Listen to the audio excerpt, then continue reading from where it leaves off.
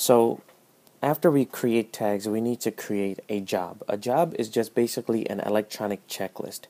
And a job can represent many different things.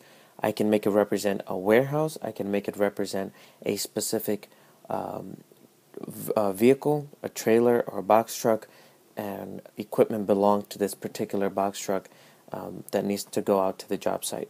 So, how do I create these lists? All I do is hit begin I go to jobs. I'm sorry, we go to setup. We put in our password. And we go to job assignment. Job assignment is giving our list a name. So I want to call this truck 27. Sorry. Lawn maintenance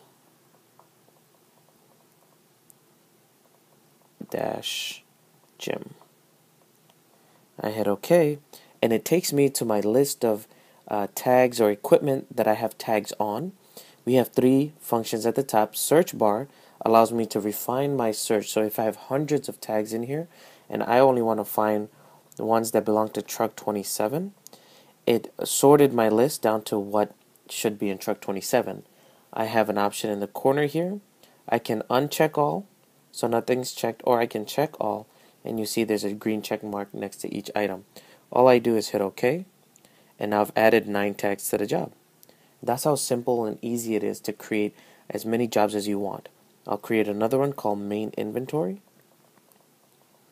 I hit OK, and then all I do is select all, hit OK, and I've created another job. You can create as many of these jobs as you want for as many vehicle you have in your fleet. So you can scan each vehicle at the beginning of the day making sure all contractors and crews left with what they need, and when they come back, scan again, make sure everything's brought back. That's it.